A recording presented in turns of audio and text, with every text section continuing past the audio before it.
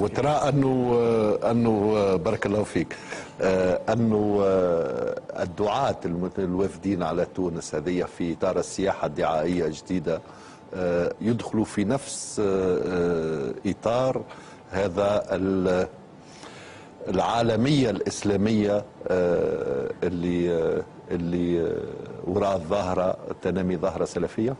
طبعا. هم يجوا في إطار هذا المشروع المعادي للإسلام الجمهوري.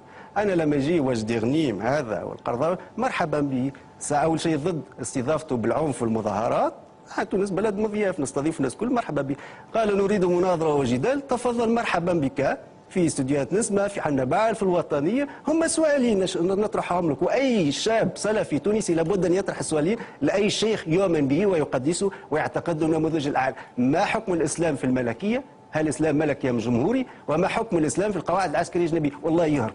والله لو تسألوا سؤالين هذوما واش غنيم والقرضاوي وغيره وغيره واللي يجيبوا فيهم هذوما بالروز رويس والسيارات الفاخرة ومرتبات ب 5 مليون دولار في العالم والله يهرب يخليكم يهرب لأنه خبزه والخبزه مرة وأنت باش تقطع له خبزته لا انتهت اللعبة تنتهى القصة لأن مسينا له جوهر الإسلام وهذه مسألة ما يحبش يتعامل معها.